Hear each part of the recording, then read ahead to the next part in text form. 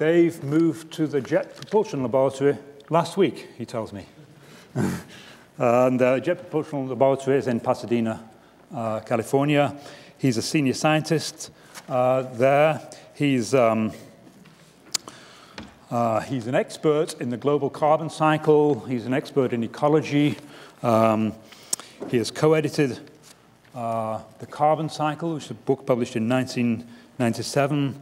He's authored uh, The Theory and Application of Tracers, published in 1993. And he has written a primer for the Princeton University Press called Climate and Ecosystems, which is hot in the presses. Not quite off the presses yet, but it's... Uh, so, uh, Dave.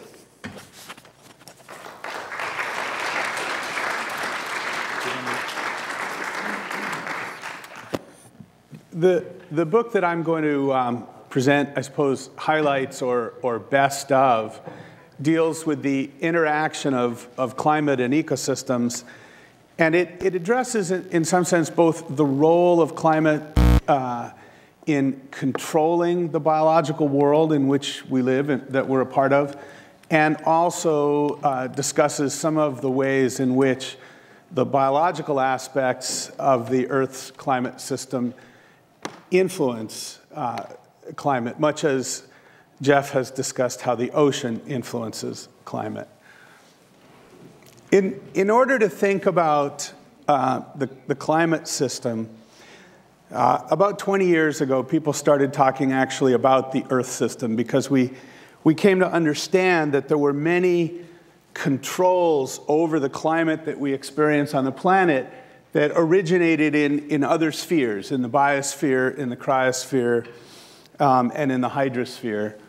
And so I'm going to be talking about the interactions of the climate system, which we'll hear a lot more about, the physics of the climate system, in, in terms of its interactions with the terrestrial biosphere through the exchange of energy and moisture, uh, the, the role of terrestrial and marine ecosystems in influencing atmospheric composition, and how all of these processes influence both the evolution over time of life on the planet and the climate system. And I, I suspect that you'll see something like this many times today. Uh, the, the, the surface energy balance of the planet is influenced by the absorption and reflection of, of visible and infrared radiation captured by, the, by this equation. And it turns out that this is an excellent place to start thinking about how the biosphere and the atmosphere interact with each other. The biosphere influences the concentration of greenhouse gases. It influences the reflectivity or albedo of the planetary surface. It influences the partitioning of energy absorbed by the planet between what we call sensible and, and latent heat. That is, it influences the partitioning of energy absorbed between the evaporation of water and the other pathways through which the planet returns energy to the atmosphere and ultimately to space. All of these interactions and processes over land are influenced by the biosphere very directly, uh, and in the oceans, influenced uh, in a variety of, of interesting ways. We've, we're all talking about our books. One of the one of the um, really challenging aspects of writing this book, most um, uh, global ecologists specialize either in the, in the land biosphere or the ocean. Yet, in terms of understanding the interaction of the biosphere and climate, it's really essential to consider both of them, not only because they both influence the composition of the atmosphere and the energy balance of the planet, but also because uh, CO2 exchanged uh, in either sphere influences atmospheric concentration, which then goes on to have consequences in the other sphere. So they're tied together very directly. And in fact, when you're trying to interpret long records of carbon and climate, as Dave Archer will speak about later, it's very difficult yet essential to untangle the interacting effects of the land and the oceans. What, what are some of the drivers of, of modern change? this is a, a, recent figure. It was published in, in Nature magazine not long ago.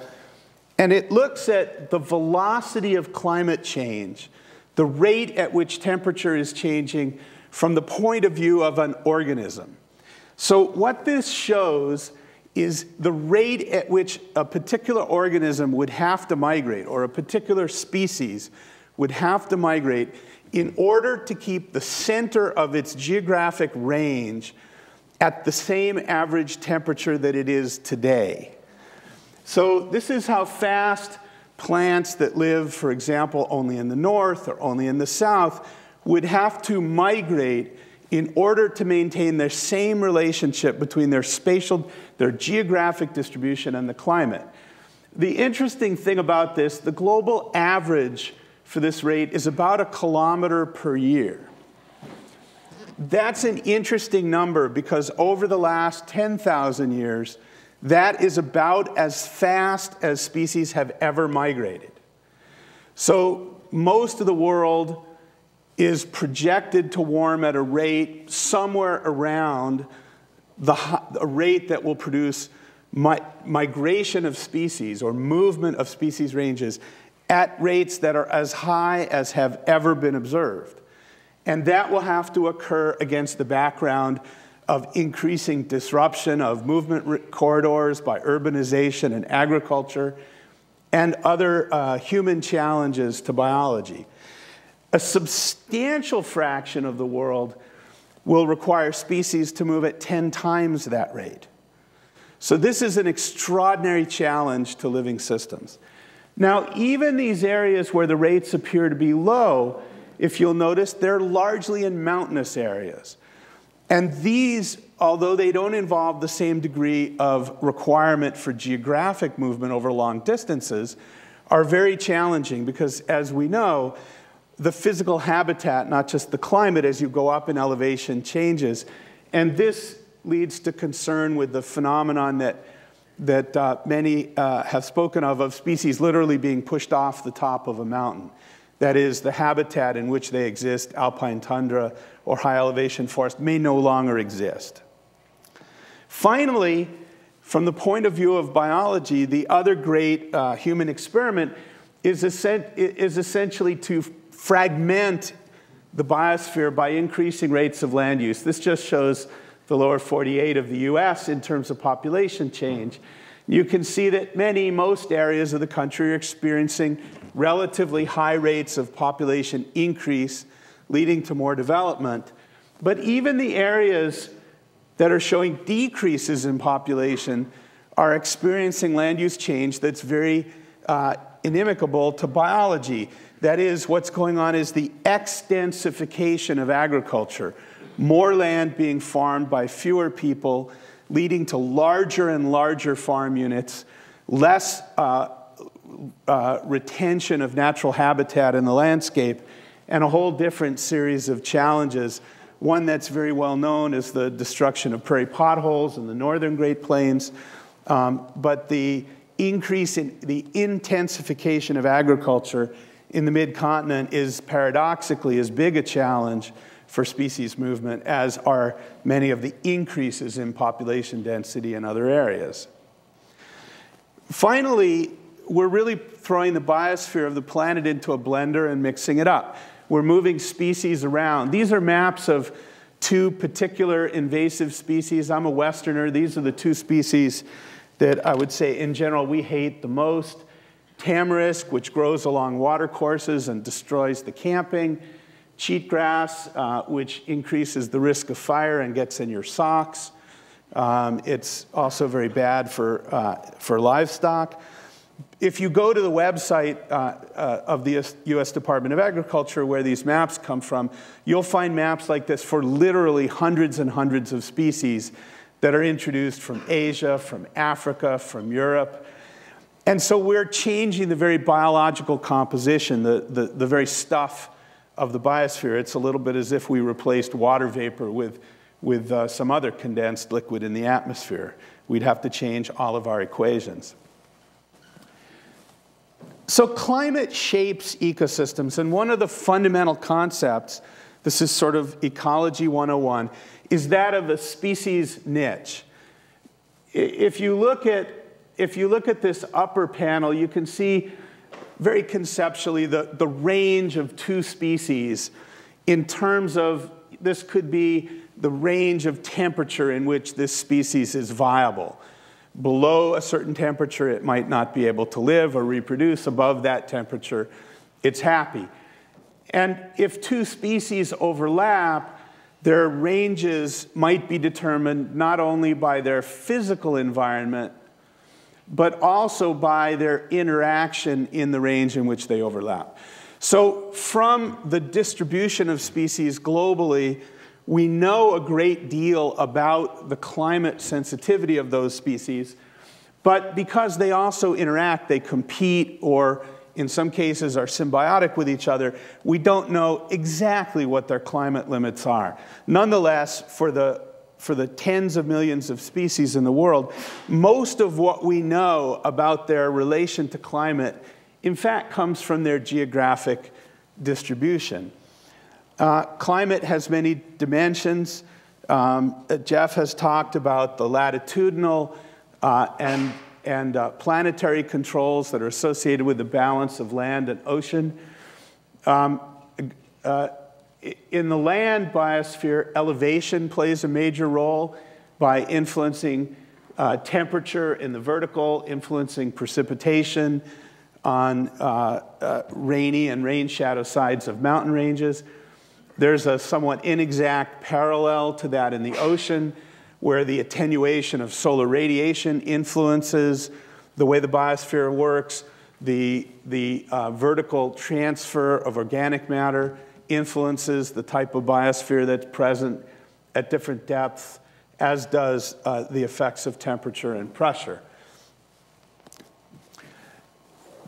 On land, and there are analogies to this in the ocean, we can kind of capture in terms of latitude, uh, uh, humidity. This is, in some sense, a proxy for some combination of effects of mountains and effects of continentality.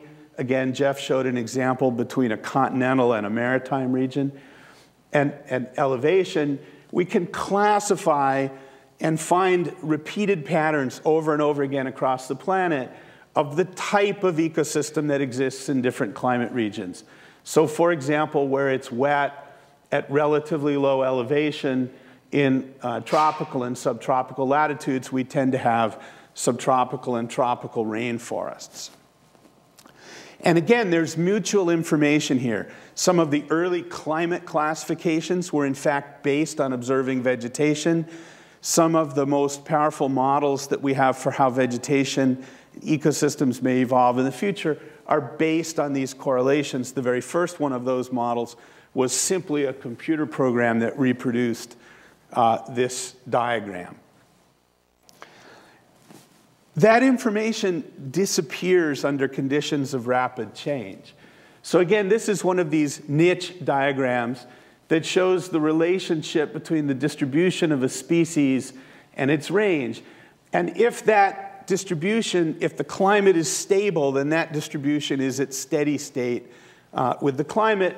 And one can either infer what the climate might be from the distribution of this organism, or one can infer the climate tolerance of that organism from its geographic correlation with climate. But if the climate is changing rapidly, that species cannot probably keep up with the rate of climate change. And so not only is that rough on the species, um, but it also means that there's no longer any information in the species distribution. It's simply at some arbitrary uh, lag behind its, its temperature tolerance. And so if you were to look at its distribution uh, in the Anthropocene in the modern period, um, it would no longer tell you that that species has a zero degree minimum tolerance. It would just tell you that it's moved somewhere from its previous range and we don't know where its future range might stabilize. Ecosystems, so ecosystems are influenced in many, in many ways in a dominant sense by climate, um, but they also influence the climate. uh, I'm going to show a figure that maybe every single speaker will show. This is the Keeling curve.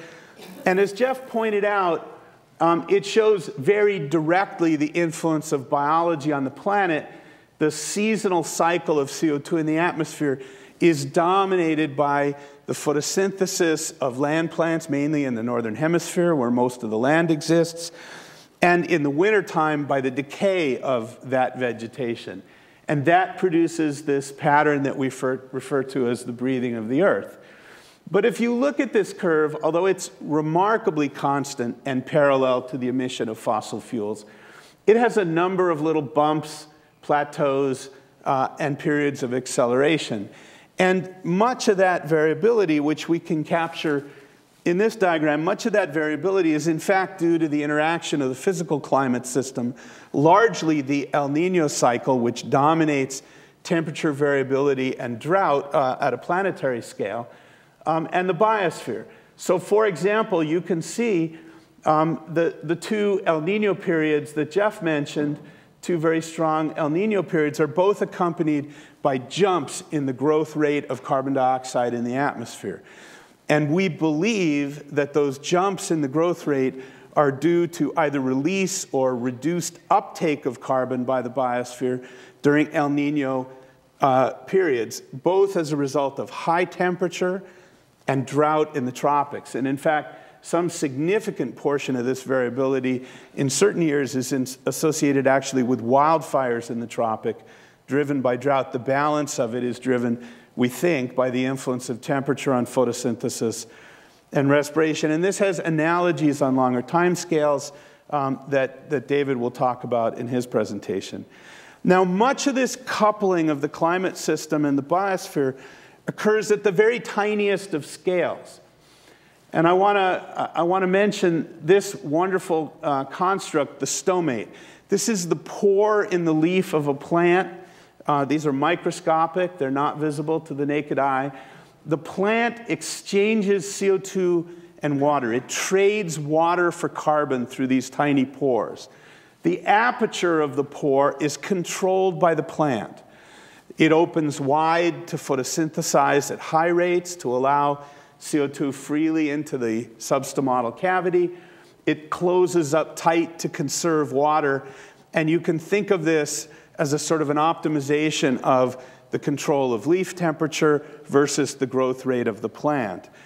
And by influencing the relative uh, release of water vapor to the atmosphere, the plant also controls the partitioning between the convective and radiant and the evaporative exchange of energy at the land surface. So these little tiny things, billions and billions and billions and billions of them, are one of the main ways in which the climate, the carbon cycle, and the water cycle, and ultimately the planet's climate come together. The modern carbon budget, I won't dwell on this, um, but if we look at the land biosphere, we see a direct uptake of carbon responding to the history of human land use, the atmospheric CO2 concentration, uh, the integrated effects of climate change, leading to a very significant subsidy. About a quarter of the CO2 released from fossil fuel burning is taken back up by the land biosphere. Now, this is kind of paying back a loan, or the opposite of that, because the main reason for the uptake of carbon by the modern land biosphere is the recovery of carbon into forests that were harvested before fossil fuel was the main energy source, during the early industrial period when wood was the, uh, was the primary fuel. In a similar way, the oceans take up about a quarter of fossil fuel emissions, again, providing, if you will, a subsidy to, to, to human society uh, for the climate system.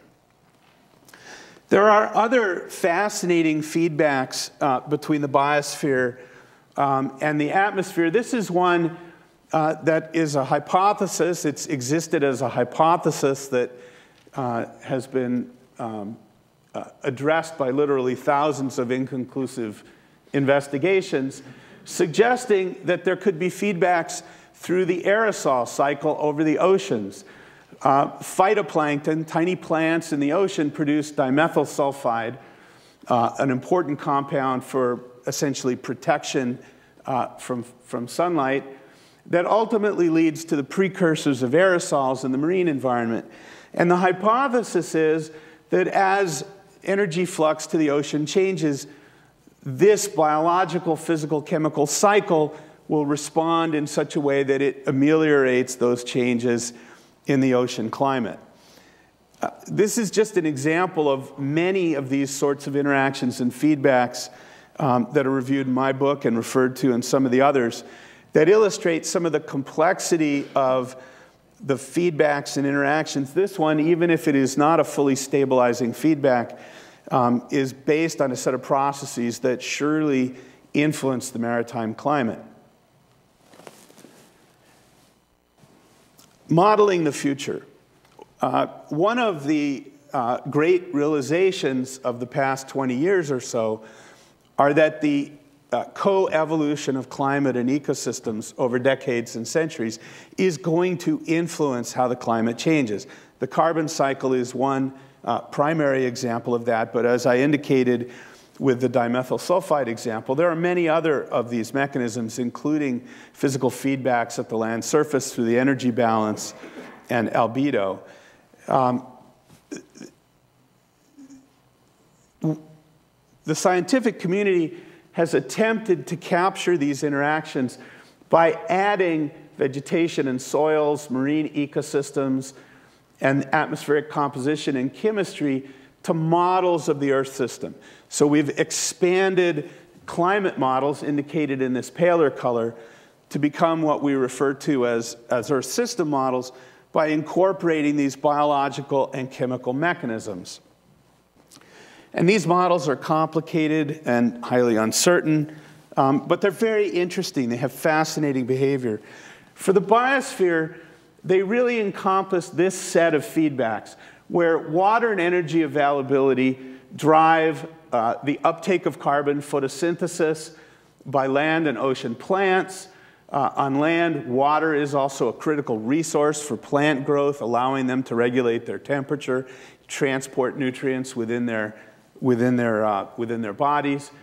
This living plant biomass dies and is ultimately returned to the atmosphere as CO2. Many uh, nutrients, nitrogen, phosphorus, and metals are also involved in metabolism and required. Um, for some of those nutrients, especially nitrogen, its uptake into the biosphere is also controlled by water and energy.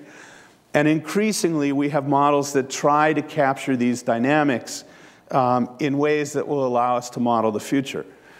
Uh, the outcome of this modeling activity um, is fascinating and generates a good deal of employment security. Um, but uh, wonderfully, when these processes were incorporated into these Earth system models, they roughly doubled the uncertainty of the projection of climate for any given emission of CO2 that we assume for fossil fuels. So if you look at, the, at these, uh, we're showing here the uh, range of future carbon fluxes uh, on, just on land, the oceans add to this, that are simulated by contemporary Earth system models. And if we overlay that range on the uncertainty from those same models, uh, just showing the effects of physical uncertainty, it roughly doubles the uncertainty because of the added complexity of predicting the carbon concentration of the atmosphere in the future. Again, these processes are very tightly coupled. Land and ocean fluxes depend really remarkably sensitively on the climate. David? The units on the top of that are gigatons a year. The units on the top are gigatons a year, and somehow they disappeared from the graphic. The units on the bottom are temperature. So I just want to conclude um, by uh, going back to the energy balance. Ultimately, ecosystems in the atmosphere, uh, ecosystems in, on land and the ocean, interact with the climate system by influencing the planetary energy balance, by influencing its reflectivity at the surface, by influencing the partitioning of energy between sensible and latent fluxes, and by influencing the composition of the atmosphere and its radiative balance, both through what we refer to as greenhouse gases that warm the planet and by influencing aerosols in the atmosphere that may either warm or cool the atmosphere, uh, depending on their properties and their location in the atmosphere. And so I think that if you visit atmospheric science or earth science departments around the country now, you'll find that many of them have people who are trained as biologists. Or you'll find that many of the people trained as physicists have learned an extraordinary amount uh, of biology. And I think that it's in that spirit that, that really the entire series is written, but particularly this book is, is written uh, reflective of my own career. Uh, I was trained as a atmosphere biosphere interaction scientist with advisors from both meteorology, Dave Randall's department, and natural resources. And I think that this has become, has gone from being kind of a very weird and risky thing to do uh, to actually being a very, a very common and, and, and important scientific career. Thank you very much.